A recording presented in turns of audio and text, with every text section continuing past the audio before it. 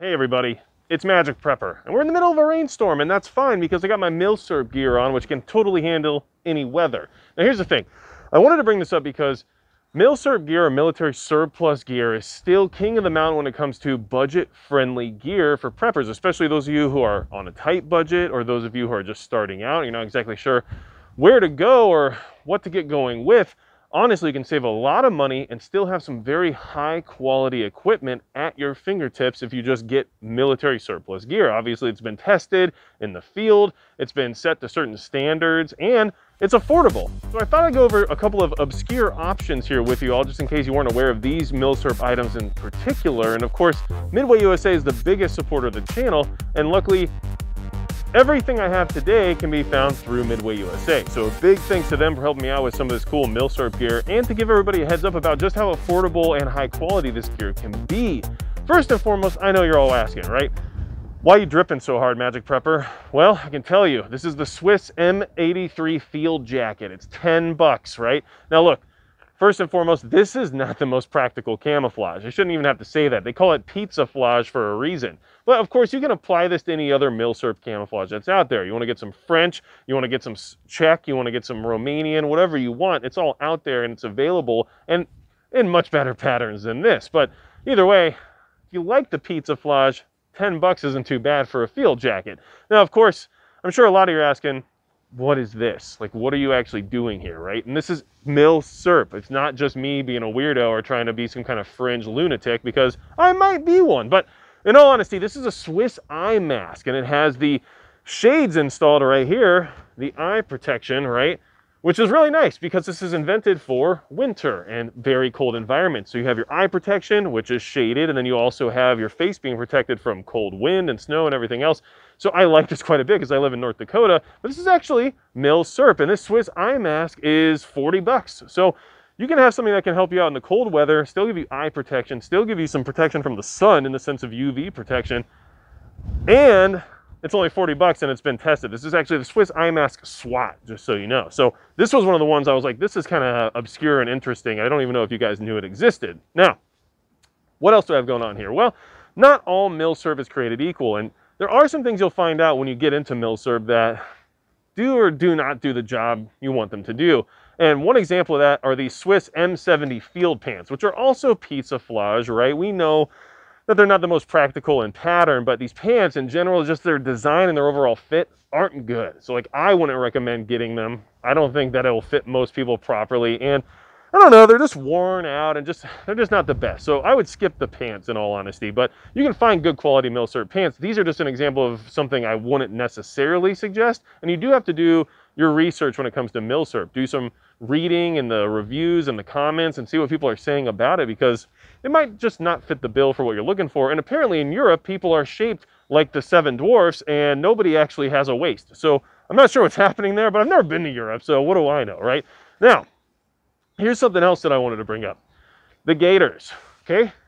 These are Swiss mountain gaiters. Milsurp gaiters that are really inexpensive. They're $15, right? And by the way, those M70 field pants are 28 bucks for like, why even talk about it? They're terrible. Anyway, Swiss Mountain Gaiters for 15 bucks. You get military surplus gaiters and they're legit. I've worn them in deep snow. I've worn them in wet environments. They keep my feet dry. They do the exact job you expect gaiters to do. And for 15 bucks, you're just not gonna beat that. So to me, that's where some Milsurp really comes into play where you start getting into more obscure items other than just camouflage or, you know, Alice gear or rucksacks and stuff like that. Like things like gaiters that are actually designed specifically to deal with the harsh environments that militaries are expected to have to deal with, I think is a good way to look at it. So these gaiters are awesome. I highly recommend for $15. You can't beat them. Now, we all know, like I said, rucksacks are a big part of the equation.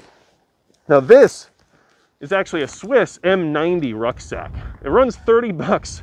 You probably won't get a better backpack than this Swiss rucksack for $30. Like you just won't. It's an awesome backpack. It's super durable. It's really inexpensive and it's got all the things you would expect from a military rucksack, especially when it comes to like waterproofing and load bearing capability. Yeah, is it the most comfortable bag you'll ever buy? Of course not. Is it the best thing for hiking the Appalachian Trail? No, but can you fit nine puppies inside? You definitely can. So this bag is awesome and I use it for other things besides just prepping stuff. I use it even just for like magic cards or who knows what else. I don't actually play that, right?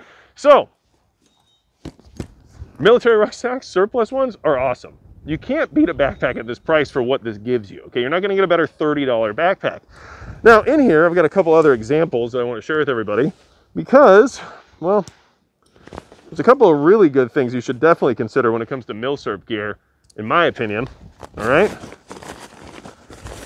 Look at this, snow skirt, expandable. This, this pack has so many options. I'm not gonna go through them all because it's $30. If you wanna try it out, just grab one and you're not gonna hate it, I promise you, okay? So, in here, let's see, I've got an example of something I don't like. Now these are actually Czech M95 mittens. Now they're only eight bucks. And you think, dang, mittens for eight bucks, right? And they actually have a finger trigger or a trigger finger as well. a finger trigger, you never know what that's for. A trigger finger separation there so that you can actually still use a rifle. But the reason I don't like these is that they're not incredibly warm for how bulky they are and the elastic is really worn out on them. So like they're just gonna fly off really easily. That thing really flew, wow. but here's the thing. I mean, for eight bucks, it's still better than no winter gear at all. But if you have any additional money besides $8, there are other Milsurp mittens out there, like the NATO ones, which are much better than these. And I would just spend a little extra and get something better than these. So this goes into the whole Milsurp thing requiring a little bit of vetting on your part to make sure that it actually works. And yeah, I'm in the middle of a storm right now. It's what we do, okay?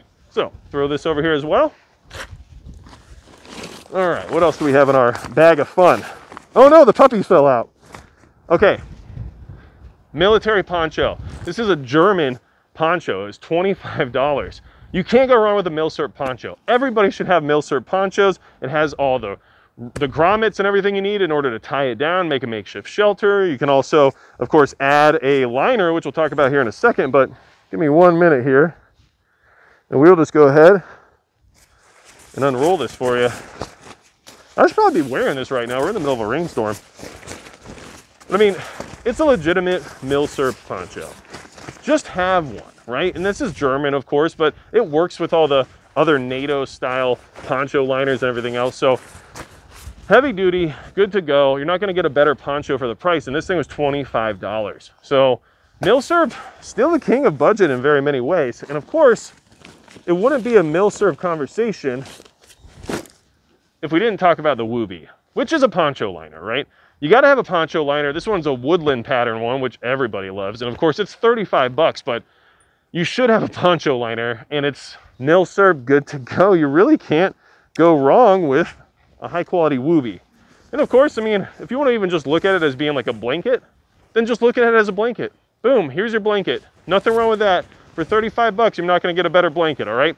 But it can do a lot more than a blanket, of course. So Listen, Milsurp, still king of the mountain in many ways. And if you're just starting out or you're not sure where to get started, go the military surplus route. And if you don't have any money to work with in the sense of like a huge budget to spend on gear and preps and all this high speed stuff that's really expensive but modern and slick and tactical and all that stuff, don't get too upset or frustrated. Just get some Milsurp stuff. Get some load bearing equipment, get some Alice gear.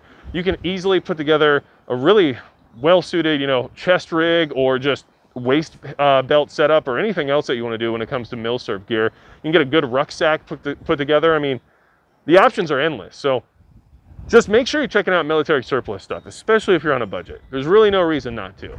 And besides that, that's going to be it for Magic Prepper.